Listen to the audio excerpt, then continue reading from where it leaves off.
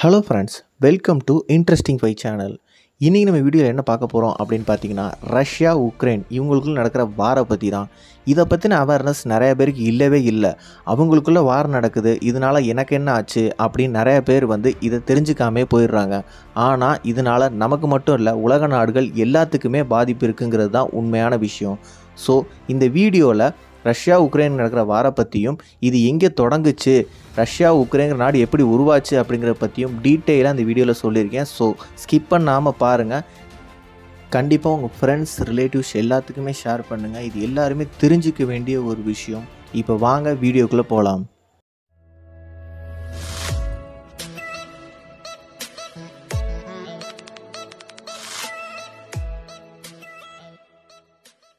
ஆயிரத்தி தொள்ளாயிரத்தி தொண்ணூற்றி ஒன்றில் யூஎஸ்எஸ்ஆர் அப்படின்னு அழைக்கப்படுற சோவியத் யூனியன் பதினைந்து குடியரசு நாடுகளாக பிரியுது. அதில் பிரிஞ்ச ரெண்டு நாடு தான் Ukraine and Russia Russia December பன்னெண்டு ஆயிரத்தி தொள்ளாயிரத்தி தொண்ணூற்றி ஒன்று சோவியத் யூனியன்லேருந்து பிரியுது. அதே மாதிரி உக்ரைன் ஆகஸ்ட் இருபத்தி நாலு ஆயிரத்தி தொள்ளாயிரத்தி தொண்ணூற்றி ஒன்றில் சோவியத் யூனியன்லேருந்து பிரியுது.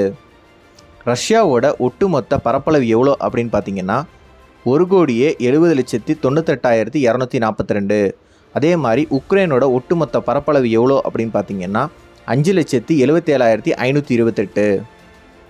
ரஷ்யாவோட ஒட்டுமொத்த மக்கள் தொகை எவ்வளோ அப்படின்னு பார்த்தீங்கன்னா பதினாலு கோடியே அறுபத்தோரு லட்சத்தி எழுவத்தோராயிரத்தி பதினஞ்சு.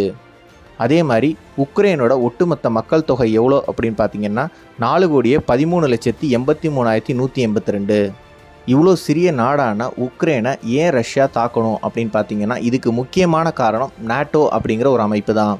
நாட்டோ அப்படின்னா நார்த் அட்லாண்டிக் டெரிட்டரி ஆர்கனைசேஷன் இந்த நாட்டோ அப்படிங்கிற அமைப்பு இரண்டாம் உலகப் போருக்கு அப்புறம் ஏப்ரல் நாலாம் தேதி ஆயிரத்தி தொள்ளாயிரத்தி நாற்பத்தி ஒம்போதில் உருவாக்கப்படுது. இந்த நாட்டோ அமைப்பை உருவாக்குனது அமெரிக்கா. இந்த நாட்டோ அமைப்போட முக்கியமான குறிக்கோள் என்ன அப்படின்னு பார்த்தீங்கன்னா இந்த நாட்டோ அமைப்பில் ஒரு சில நாடுகள் உறுப்பினராக இருப்பாங்க. அந்த உறுப்பினராக இருந்த நாடுகளில் வேறு ஏதாவது ஒரு நாடுகள் தாக்க முயன்றாலோ அச்சுறுத்த முயன்றாலோ இந்த நாட்டோ அமைப்பு உள்ளே போந்து அவங்களுக்கு பாதுகாப்பாக இருக்கும். அது மட்டும் இல்லாமல் அவங்க வளர்ச்சிக்கும் இவங்க உதவிகரமாக இருப்பாங்க. அதனால் உக்ரைன் தங்களோட எதிர்காலத்தை கருத்தில் கொண்டு இந்த நாட்டோ அமைப்பில் சேர்றதுக்கு முடிவெடுக்கிறாங்க. ஆனால் இந்த ஒரு விஷயம் ரஷ்யாவுக்கு சுத்தமாக பிடிக்கல. இதுக்கு ஒரு முக்கியமான காரணம் என்ன அப்படின்னு பார்த்தீங்கன்னா ஆயிரத்தி தொள்ளாயிரத்தி தொண்ணூற்றி ஒன்றுக்கு முன்னாடி அதாவது சோவியத் யூனியன் பதினைந்து குடியரசு நாடுகளாக உருவாகிறதுக்கு முன்னாடி சோவியத் யூனியனும் அமெரிக்காவும் ஒரு ஒப்பந்தம் போட்டுக்கிறாங்க. அந்த ஒப்பந்தத்தில் எழுதப்பட்டது என்ன அப்படின்னு பார்த்தீங்கன்னா சோவியத் யூனியன் அமெரிக்காவோட எந்த இடத்தையும் ஆக்கிரமிக்கக்கூடாது. அதே மாதிரி அமெரிக்கா சோவியத் யூனியனோட எந்த ஒரு இடத்தையும் ஆக்கிரமிக்க கூடாது அப்படிங்கிறது தான். ஆனால் சோவியத் யூனியன் பதினைந்து குடியரசு நாடுகளாக பிரிஞ்சதுக்கப்புறம் அமெரிக்கா இந்த நாட்டோ அப்படிங்கிற ஒரு அமைப்பு மூலயமா இந்த சின்ன சின்ன நாடுகளை ஆக்கிரமிக்கிறாங்க. கிட்டத்தட்ட அந்த நாட்டோங்கிற அமைப்பு மூலியமா அவங்க எல்லா நாடுகளையுமே ஆக்கிரமிச்சிட்டாங்க. இந்த நாட்டோங்கிற அமைப்பால் ஆக்கிரமிக்கப்பட்ட நாடுகளுக்கும் ரஷ்யாவுக்கும் இடையில் உக்ரைன் மட்டும்தான் இருந்துச்சு. இப்போ உக்ரைனையும் இவங்க நாட்டோவில் சேர்த்துட்டாங்க அப்படின்னா ரஷ்யாக்குள்ளேயும் இந்த நாட்டோ அமைப்பு உருவாக வாய்ப்பு இருக்குது இதனால தான் ரஷ்யா உக்ரைன் நாட்டோவோட சேரதில் ரொம்பவே எதிர்ப்பு தெரிவிக்கிறாங்க. ஆனால் ரஷ்யா அமெரிக்காட்ட இந்த ஒப்பந்தத்தை பற்றி சொன்னப்போ நீங்கள் சோவியத் யூனியனாக இருந்தப்போ போட்டது தான் இந்த ஒப்பந்தம். ஆனால் இப்போ சோவியத் யூனியன் அப்படிங்கிற ஒரு நாடே கிடையாது. அதனால் அந்த ஒப்பந்தம் செல்லாது அப்படின்னு சொல்லியிருக்காங்க. இதனால தான் ரஷ்யா ரொம்பவே கோபம் அடைகிறாங்க இதுதான் இந்த போருக்கான ஒரு தொடக்கமாக அமையுது. இதனால் கோபம் அடைஞ்ச ரஷ்யா தங்களோட படைகளை உக்ரைனோட எல்லைகளில் நிறுத்துகிறாங்க இதை தெரிஞ்சுக்கிட்ட உக்ரைன் எப்படியும் ரஷ்யா நம்ம நாட்டை அழிச்சிருவாங்க. அதனால் இதுலேருந்து நம்ம பின்வாங்கிடலாம் அப்படின்னு சொல்லி நாங்கள் நாட்டோ அமைப்பில் இணையலை அப்படின்னு ரஷ்யாவுக்கு ஒரு அறிக்கை விடுறாங்க. இருந்தாலும் ரஷ்யா பின்வாங்குற முடிவில் இல்லை. இதை தெரிஞ்சுக்கிட்ட ஜெர்மன் ரஷ்யா கூட பேச்சுவார்த்தை நடத்துகிறாங்க உக்ரைன் நாட்டோ அமைப்பில் இணையிறதா இல்லை. அதனால் உங்கள் படைகளை நீங்கள் கண்டிப்பாக வந்து திரும்ப பெறணும் அப்படின்னு சொல்லி கேட்டுக்கிறாங்க.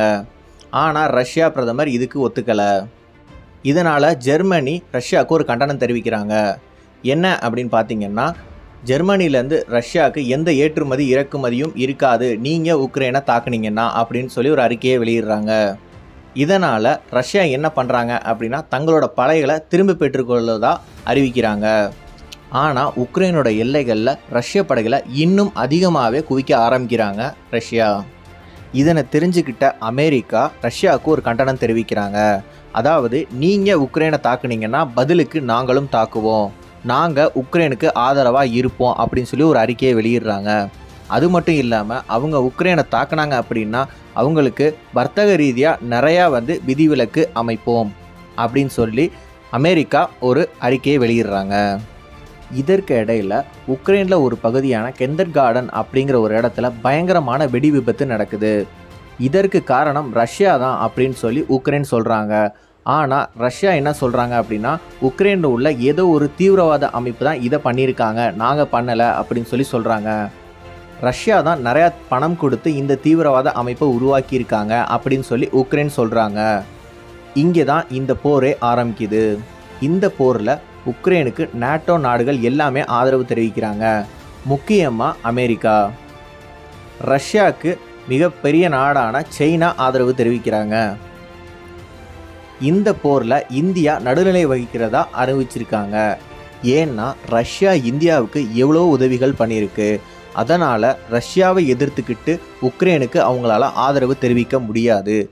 அதே மாதிரி உக்ரைனுக்கு ஆதரவாக இருக்க அமெரிக்காவை எதிர்த்துக்கிட்டும் ரஷ்யாவுக்கு ஆதரவாக இருக்க முடியாது. அதனால் இந்தியா நடுநிலை வைக்கிறே சரியானது அப்படிங்கிறது என்னோட கருத்து. இந்த போரோட தொடக்கத்தில் நாட்டோ நாடுகளான ஜெர்மனி அமெரிக்கா எல்லாமே உக்ரைனுக்கு ரொம்பவே ஆதரவாக இருந்தாங்க. தங்களோட படைகளை தருவதாகவும் எல்லா விதத்துலேயும் அவங்களுக்கு உதவுவதாகவும் சொல்லியிருந்தாங்க. ஆனால் போர் தொடங்கிய கொஞ்ச நாட்களிலேயே ஜெர்மனி தங்கள் ஆதரவை மட்டும் தெரிவிப்பதாக அறிவிக்கிறாங்க. அது மட்டும் இல்லாமல் போலாந்து பிரான்ஸ் போன்ற எல்லா நாடுகளுமே தங்களோட ஆதரவு மட்டும் தெரிவிக்கிறதா சொல்கிறாங்க இந்த போருக்கு முக்கியமான காரணமான அமெரிக்காவும் முன்னாடி தங்களோட ஆதரவை ரொம்பவே தெரிவிச்சுக்கிட்டு இருந்தாங்க. ஆனால் இந்த போர் தொடங்கிய கொஞ்ச நாட்களிலேயே அவங்க ஆதரவு கொஞ்சம் கொஞ்சமாக குறைய ஆரம்பிச்சிருச்சு.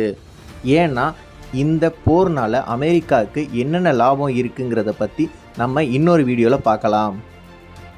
இப்போ நடந்துக்கிட்டு இருக்க ரஷ்யா அண்ட் உக்ரைன் போரில் கிட்டத்தட்ட உக்ரைனில் ரெண்டாயிரம் சாதாரண மக்கள் இறந்திருக்கதா உக்ரைன் சொல்கிறாங்க அதே மாதிரி உக்ரைன் படைகளில் ரெண்டாயிரத்தி எட்நூற்றி எழுபது வீரர்கள் இறந்திருக்கதா ரஷ்யா சொல்கிறாங்க அதே மாதிரி ரஷ்யாவில் கிட்டத்தட்ட ஒம்பதாயிரம் வீரர்கள் இறந்திருக்கதா வந்து உக்ரைன் அரசு சொல்கிறாங்க ஆனால் ரஷ்யா ஐநூறுக்கும் குறைவாக தான் வீரர்கள் இறந்திருக்கதா சொல்கிறாங்க இந்த போர் கிட்டத்தட்ட ஏழு நாட்களாக நீடிச்சுக்கிட்டு தான் இருக்குது இந்த போரில் பார்த்திங்கன்னா ரஷ்யா பக்கமும் நிறையா ஏற்றுக்கக்கூடிய விஷயங்கள் இருக்குது அதே மாதிரி உக்ரைன் பக்கமும் நிறைய ஏற்றுக்கக்கூடிய விஷயங்கள் இருக்குது ஆனால் இருந்தாலும் இந்த போர் இப்போ தேவையா? அப்படின்னு ஒரு கேள்வி வந்துச்சுன்னா நீங்கள் என்ன பதில் சொல்லுவீங்க? இந்த போர் மூன்றாம் உலகப் போருக்கு ஒரு முக்கிய புள்ளியாக இருக்குமா? இந்த போர்னால் உலக நாடுகள் எல்லாமே வர்த்தக ரீதியாகவும் வணிக ரீதியாகவும் பாதிக்கப்படுமா அப்படின்னு கேட்டிங்கன்னா ஆமாம் அப்படிங்கிறது தான் மறுக்க முடியாத உண்மை. இன்னும் இந்த போரை பற்றின நிறையா விஷயங்களை அடுத்த வீடியோவில் பார்ப்போம். இந்த வீடியோவை கண்டிப்பாக ஷேர் பண்ணுங்கள் இந்த வீடியோ எல்லாருமே தெரிஞ்சுக்க வேண்டிய ஒரு விஷயம். கண்டிப்பாக எல்லாருக்குமே ஷேர் பண்ணுங்கள் தேங்க்யூ